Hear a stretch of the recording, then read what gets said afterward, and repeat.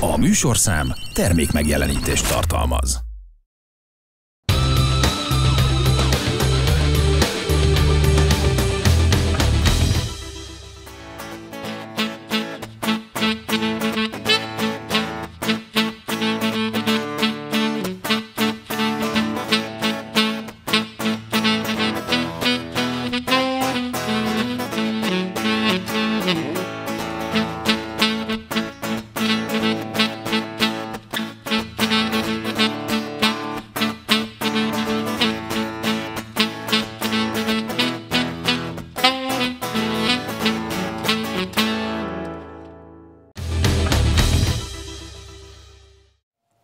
Próbaterem a Fehérvár televízióban, újra nagyon nagy szeretettel köszöntöm, üdvözlöm Önöket a próbateremben, és újra nagyon nagy szeretettel mondom és örömmel, hogy vendég a próbateremben.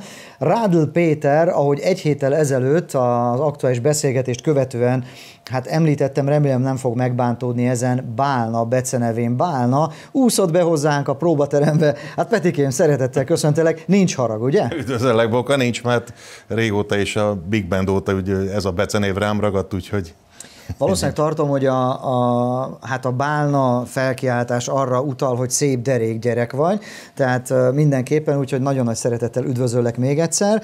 És akkor engedd meg, hogy már az elején egy, egy kedveskedéssel indítsak. Nem tudom, mennyire tűnik fel, de egy mellényt húztam magamra, próbáltam a sváb autentikát leginkább lekövetni. Elnézést kérek a sváb kultúrkör és hát emlékgyűjtőktől, mert hogy ennyit el tőlem, de mivel tudom, hogy hozzád nagyon közel áll ez a, ez a világ, ezért próbáltam kedveskedni neked, meg a, meg a sváb kultúrközösségeknek, és elnézést ezért a szegényes felhozatalért, de ezt mind a kedvedért tettem, Petikem. Szeretettel, akkor még egyszer.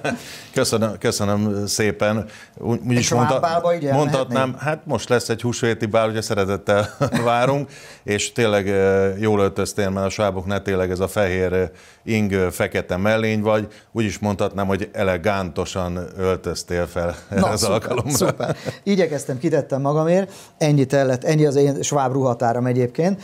Na akkor, hát kezdjük akkor innen, jó? Tehát, hogy utána szakszofonról, zene, zenekaraidról, sok mindenről fogunk beszélgetni, de ami egy nem olyan régen történt Vörös Marti rádiós beszélgetés kapcsán nagyon megütötte a fülemet, hogy te sváb hagyományőrzőként is tevékenykedsz, sőt, ha úgy tetszik, énekelsz egy ilyen produkcióban. Na kezdjük akkor ezzel. Mi is ez, Peti? Mit kell erről tudni?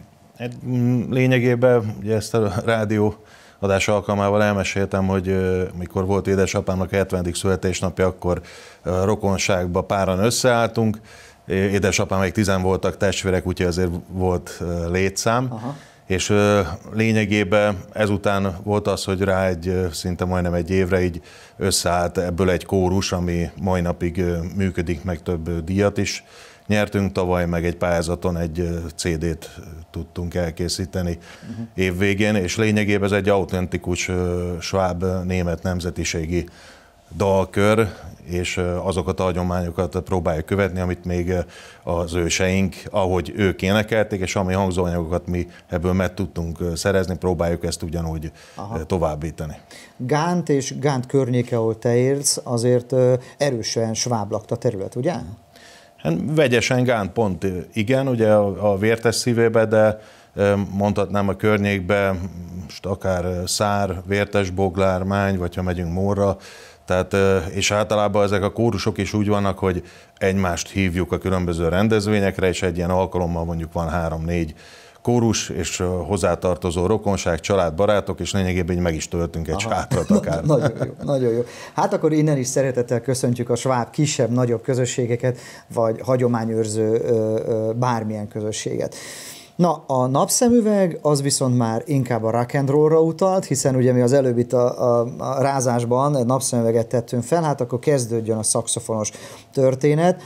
Peti, uh, rock and roll, és majd előkerül sok minden a rock and roll kapcsán, de első kérdés is, hogy került a kezedbe szakszofon?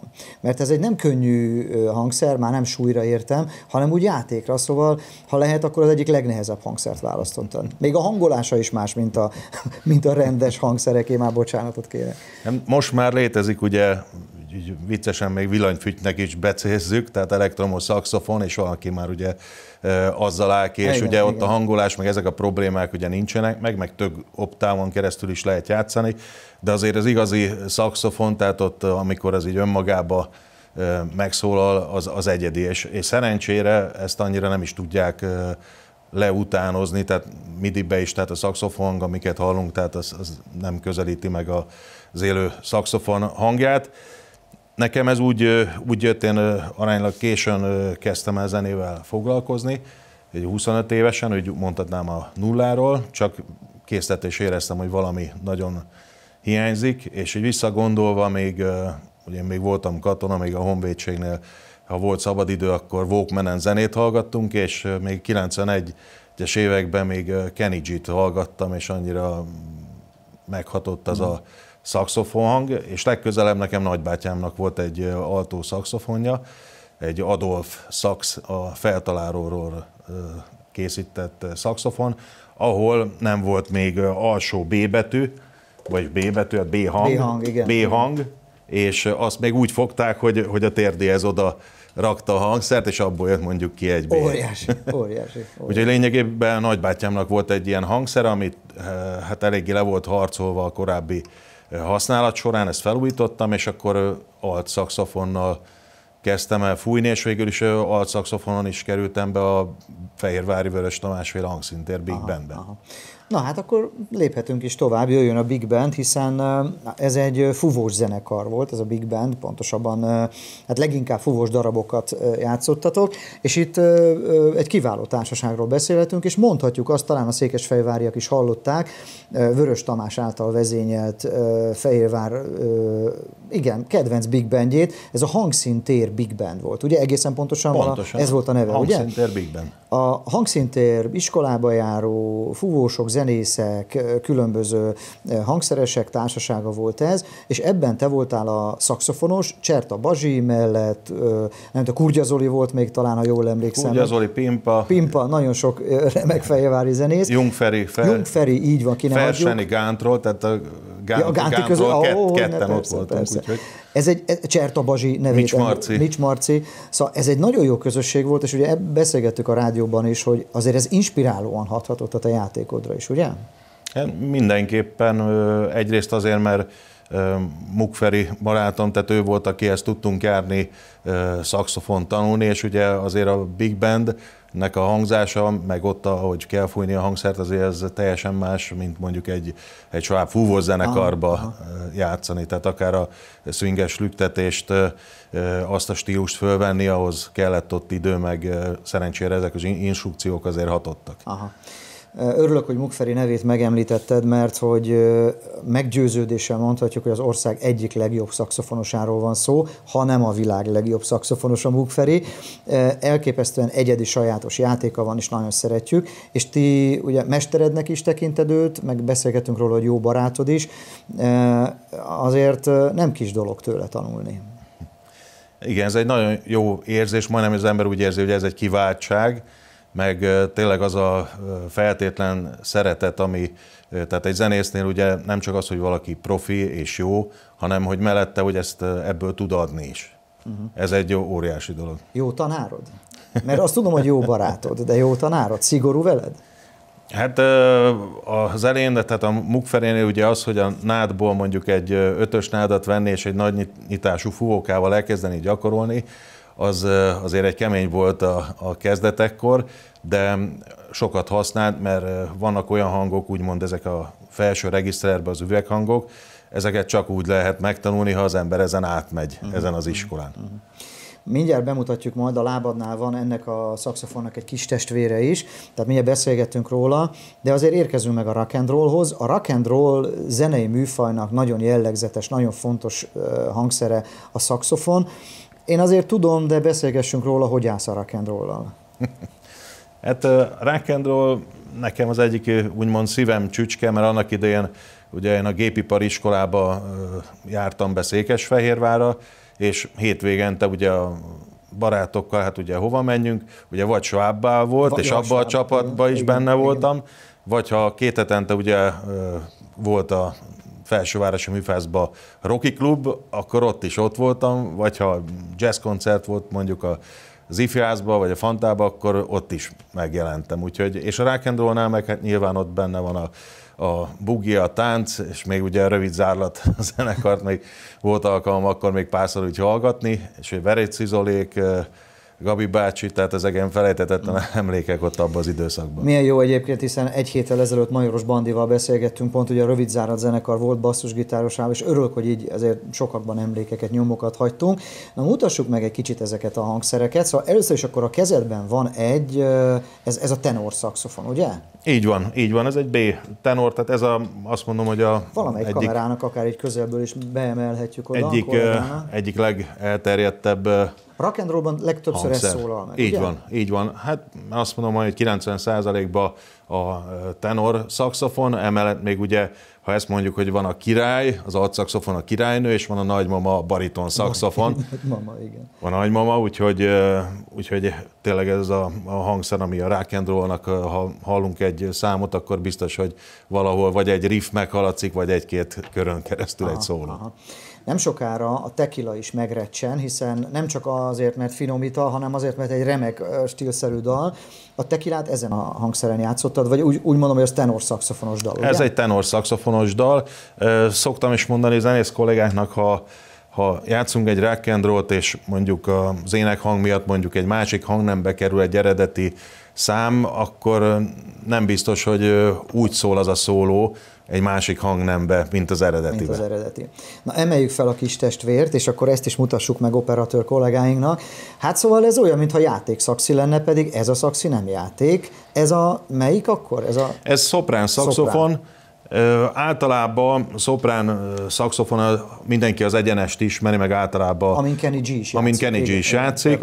A szoprának az alsó regiszter a hangoknak mélyebb tónusú, tehát azt mondom, hogy például jazzbe is szebben szólnak bizonyos lágék az egyenes szoprán szakszofonnal, míg ez a görbe szakszofon inkább megy a klasszikus irányba. Uh-huh, uh-huh. Mondjuk sok esetben van, hogy tehát én is mondjuk templomba gyönyörűen megszól eleve a templomi akusztika, akusztika miatt, igen, igen. és a maga a hangnemek az ugyanúgy B, tehát ugyanaz, mint a tenoré. Uh-huh. Tehát kódolvasás ügyileg ugyanaz, nincs különbség. Uh-huh.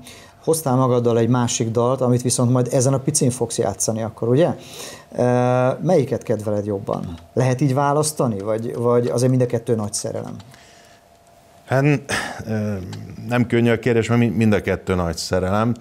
Hát van, van amit szopránnal nem lehet kijátszani, abban a regisztrálban van olyan hangokkal, és azért a nagyobb esetben használom a tenort, tehát uh-huh. lényegében a tenor a, a főhangszer, azt tudom mondani.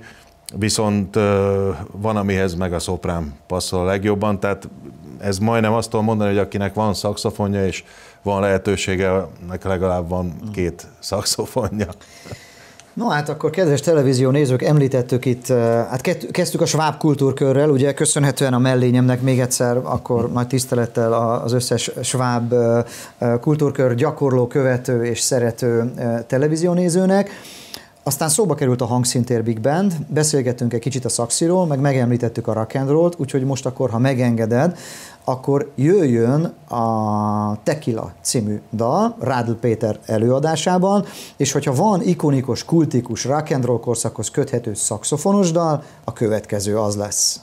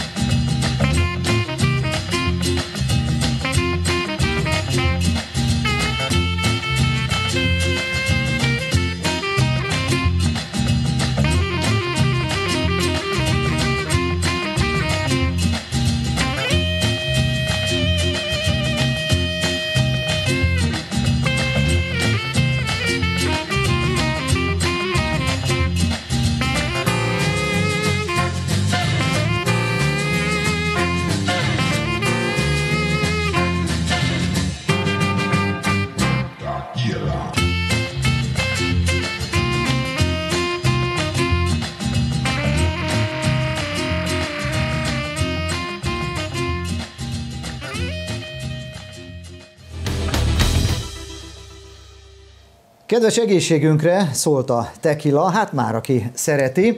Peti, az előző dal egy, eh, ahogy mondtam is, egy igazán kultikus és minden tekintetben eh, eh, felismerhető, korszakhoz köthető dal. Egy rock and roll szakszofonosnak ez ilyen alapnő? Hát szerintem igen. Szerintem igen. Aha. Majd mindjárt megszólal a kisebbik cső, amit már az előzőekben bemutattunk, de akkor maradjunk a rock and roll-nál. És a roll, akkor csináltatok ti egy rock and roll zenekart is. Ugye itt meg kell említsük a Flippers együttest. Nem olyan régen volt Bérces Viktor a vendég ebben a próbateremben, ráztunk egy nagyot egyébként, és szólt a roll vele is. Azért említem az ő nevét, mert alapító tagja volt ennek a történetnek, ha tévedek, úgyis kiavítasz és ha jól tudom, akkor Forgács Robert és Poszavec Balázs volt még ebben a kvartetben, ez egy rock and roll formáció volt, nagy sikerek, sikerek, néhány album is megjelent talán, szóval ez volt a te rock and roll zenekarod? Hát mondhatjuk, igen, most így hirtelen előttem van a kép, hogy kiszállnak egy taxiból, és egy fánki, fánkiba ülnek be, utána igen, meg egy másik igen, buszba. Igen, mert ha, ha valaki nem érteni, ugye ki, kiszálltak a sárga taxiból, a Poszavec Bazsi Forgács Robi Bérces Viktor, megalapították, vagy Big be, Time, Big Time zenekar. igen, beszálltak egy funkiba, majd onnan kiszálltak, és aztán vissza a rock and roll felé. Ugye? Így van, így van, és a, ez valahogy, amikor a nevet kerestük a Viktorral, még a a belga sörözőbe ültünk, és nem tudom, szinte egyszerre mondtuk ki, hogy Flippers, Aha. hogy valahogy ez így kijött belünk, hogy ez legyen a zenekar neve, és lényegében egy parti zenekar úgy indult el, hogy hát ez egy céges rendezvények, egyéb felkéréseken részt vettünk, és hát a, a srácok hozták a rock magukkal, tehát ott nekem föl kellett kötni a gatyámat, hogy azokat a számokat, meg főleg amit például a, a Komár számoknál, és azok Mukferi szólók, ah, bizony, bizony, tehát bizony. azon van mit dolgozni. Na, egy kicsit beszéljünk erről a formációról. Alapvetően ez egy, talán ha jól tudom, akkor ilyen partizzenekaros felütéssel kezdődött, és aztán úgy formálódott rock vagy tévedek?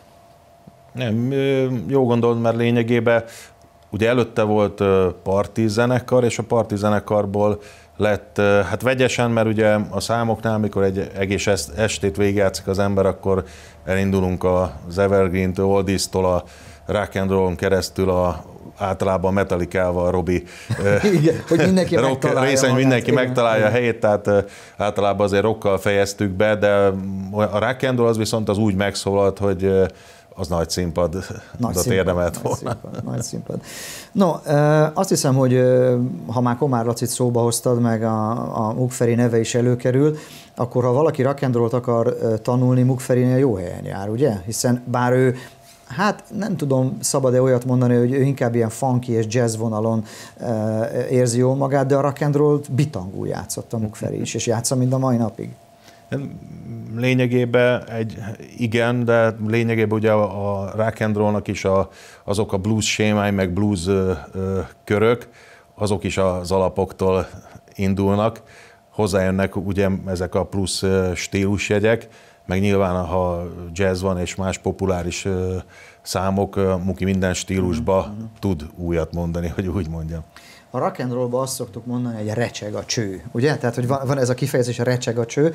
Most nem tudom én, túl nagy feladat lenne, vagy nagy kérés lenne, ha, ha arra kérnélek, hogy mutassuk meg, hogy, de így hang, hangzás mm tekintetében is, technikus kollégáknak mondom, hogy akkor egy picit próbáljuk visszaadni majd a, a, a mikrofon, hogy, hogy, hogy az a rock and roll recsenés, hogy mit értünk az alatt a rock, amikor azt mondjuk, hogy a rock and rollban recseg a szakszofon. Na, hogy recseg a rock and rollban a szakszofon, Peti?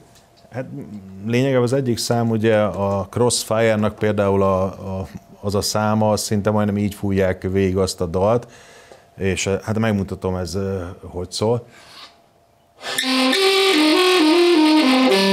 Tehát ez lényegében... Az a jó, hogy halk. hát rock and roll sose halk, ugye? hogy, hogy ezt németesen ugye Flatter Zunge, remegő nyelvnek mondják Aha. magyarra Ezt fordítva. nézőink is megértik. Így van. Igen, igen, igen. Úgyhogy tehát ez egy, ez egy technika, egy fújás technika, hogy hogy fújunk, de tényleg ez remektetés úgymond, és most ezért azért szólunk. azt elképzelem, hogy kint ülnek a közvetítő kocsiba kollégáim, és most, hogy ez így megrecsen. Most, föl, fölébredtek. most fölébredtek, valószínűleg tartom, felébredtek. Úgyhogy a biztonság kedvéért még egyszer fújjuk meg ezt, hogy a rögzítés technikailag is meglegyünk. Jó, Úgyhogy srácok, jó reggelt, recsen És akkor egy kicsit halkabban.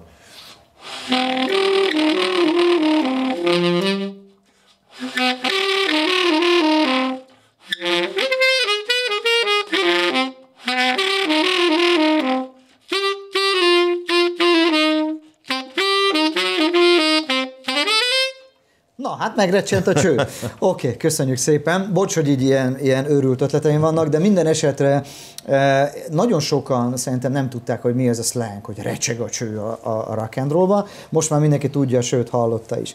Oké, okay, eh, Flippers együttes, sikersztori és úgy egyáltalán is. Azt hiszem, hogy szintén egy remek fehérvári formáció. Most éppenséggel említettél egy templom kifejezést, hogy a kis cső a templomban milyen jól szól. Előfordulsz templomi szolgálatban is? Mm, igen, már jó egy ideje, és ez javarészt Gánton szoktam adventi vasárnapokon az utolsón fellépni, de előfordult, hogy különböző formációkkal léptünk fel a templomba, tehát akár Mugferivel, Cserta Balázsjal és más szakszofonos barátainkkal együtt is, kórusként is felléptünk. Volt jó pár év, amikor a Mugferivel ketten, vagy például itt a pandémia idején most itt egyedül volt, hogy egy, egy-két számot elfújtam szoprán szakszofonnal, de nem csak karácsonykor, hanem sok esetben például templomi esküvőkor, mondjuk meglepetésként a karzatról hirtelen megszólal egy szoprán szakszofon hang, és, és az élő zenének azért nincsen párja. Aha. Remélem nem fogsz megharagudni, és remélem, hogy a kedves feleséget sem fog megharagudni rám de elmeséltél egy történetet, én meg plegykás műsorvezető vagyok, és ha megbocsátod nekem, akkor kiplegykálnálak, hiszen közelítünk ennek a beszélgetésnek a végéhez, és a You Are So Beautiful című dallal fejezzük be, és ha jól emlékszem, azt mesélted, hogy talán születésnapjára ezzel a dallal lepted meg a feleségedet, azért az nem kis dolog, hogy, hogy egy szülinapi ajándék, hogy a férje elfújja neki ezt a gyönyörű dalt. Na ez hogy történt pontosan, Peti? Hát lényegében ez úgy történt, hogy megkérdeztem a feleségem, milyen tortát szeretne. Azt hittem, hogy hány éves lesz.